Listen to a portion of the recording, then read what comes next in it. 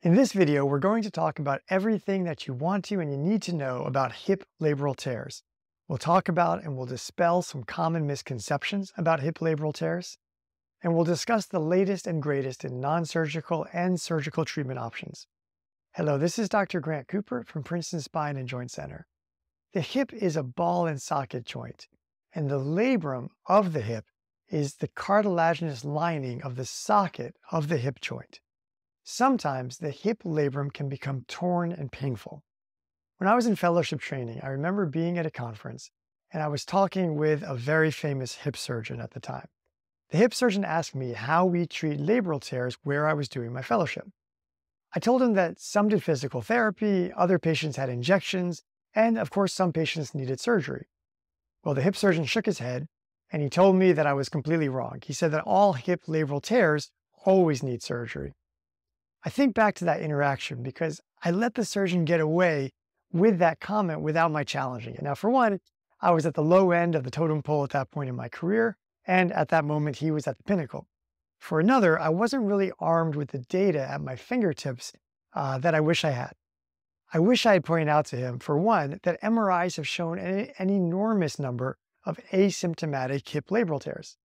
In one study of volunteers, volunteers who had no hip symptoms, and with a mean age of only 37 years old, 69% of all the hips had labral tears.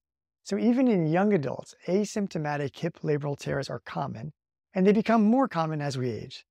Clearly, we don't want to go operating on all of these pain-free hips. That would be crazy. But of course, hip labral tears sometimes do cause terrible, terrible pain. They can cause groin pain, buttock pain, thigh pain. The hip can lock. Uh, there can be a catching feeling or an instability in the hip. You can have pain with walking, pain with running, pain when you sit for a long time, pain with going up, going downstairs. Hip labral tears can make it hard to get in and out of your car. Pivoting can be very painful. Hip labral tears can be a nightmare. So why is it that one person will have a hip labral tear and will experience horrendous symptoms that keeps that person from enjoying life and doing basic activities of daily living? And another person will have a hip labral tear that looks the same on the MRI, and yet the second person has no symptoms.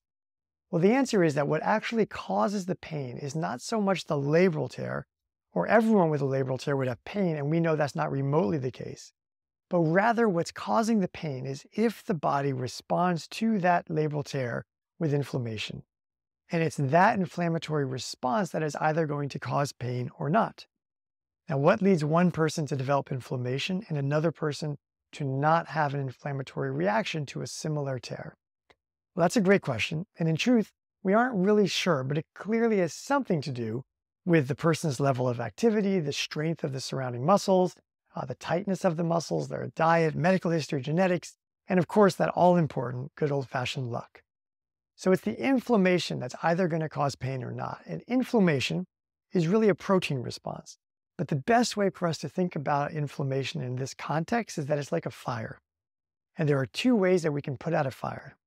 One is we move away the sticks and let the fire die down on its own. In a surgeon's world, that means surgery.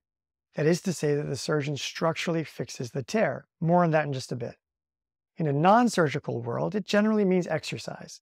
By stretching and strengthening the surrounding muscles, you take the pressure off of the affected hip and you try to allow that hip to rest so that the fire dies out. When you're rehabbing a hip labral tear, it's important to not just stretch and strengthen the hip muscles, but that you also want to make sure you're addressing the core stabilizing muscles. You need to evaluate the gait and see if you can improve someone's walking.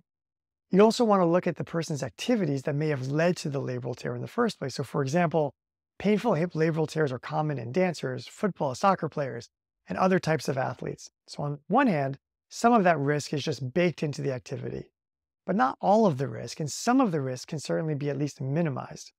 The first thing is to look at the form of the performing artist or the athlete. So if, if the person's a golfer, for example, you look at the golf swing to see if it's putting too much unnecessary torque on the hip. The same goes for dancers and everyone else. Then two, if you're a soccer player doing lots of quick pivots, you're going to need to do double the work on strengthening the muscles that allow you to make those fast pivots without putting too much stress on the hip. One other point when you're rehabbing a hip labral tear. It's not the norm, but sometimes someone develops a hip labral tear because they also happen to have a pinched nerve in the back. Specifically, the most common scenario, scenario is someone with an L5 pinched nerve.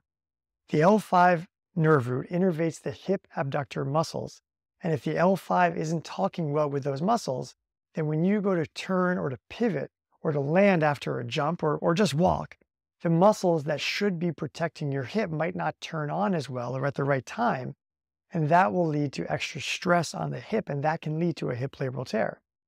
This is something you need to identify if it's present, because if you don't identify it, there's a strong tendency for the labral tear to become symptomatic again and again. If the back is involved, it's vitally important to address it one way or another so that as the hip labrum heals, the hip abductors will get the innervation that they need. Some sometimes addressing the L5 nerve root can just mean appropriate exercises devoted to the lumbar spine. At other times, it might mean an injection or even a surgery. Of course, the treatment is going to vary wide, wildly depending on how badly and from what the nerve is compromised.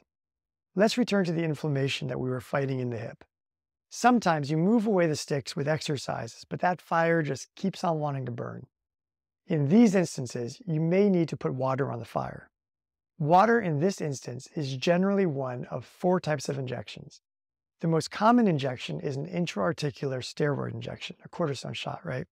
Steroids are a powerful anti-inflammatory medication that can be delivered directly to the hip. The problem with steroid injections in the hip joint is that steroids aren't great for hip joints, particularly if you're doing repeated steroid injections. Realistically, one injection is very unlikely to harm the hip but it's an important consideration because you don't want to find yourself in a pattern where you keep injecting the hip uh, again and again with steroids. That would lead to other kinds of worse problems. Another type of injection into the hip is ketorolac. Ketorolac, uh, it's also called Toradol, is a liquid NSAID, like a liquid Advil or Aleve. Studies have shown that injecting Toradol for hip osteoarthritis may work as well as steroids, it stands to reason then that this would hold true for hip labral tears as well. The advantage of this approach is that Toradol does not have the same potential deleterious effects on the hip joint, so that makes Toradol very attractive. The main disadvantages are one, some people might have a contraindication to NSAID, so then they couldn't have it. And two, there just hasn't been nearly as much experience or data overall with injectable Toradol as there has been with steroids. Still, it's something to consider. A third type of injection is a very different approach. One can inject viscosupplementation. Viscosupplementation is basically a synthetic joint fluid. This joint fluid can be injected into the hip joint. I had a fellowship director that used to like to say, the labral tear is like a pothole in the road and the viscosupplementation paves over the pothole. The nice thing about this approach is that you're putting a joint fluid into the joint that belongs in the joint. So in a way, it's a more organic or, or natural uh, treatment. It tends to work, at least in my experience, very well for this purpose. Data is very strong for using viscosupplementation for hip osteoarthritis, but to be fair, more studies are needed to solidify this for hip labral tears as the standard of care. Right now, it's more empiric clinical data from people who do this a lot for their patients. The fourth type of injection is regenerative medicine. In regenerative medicine, the labral tear is prompted to repair itself by eject, injecting around it using one of a few different kinds of products.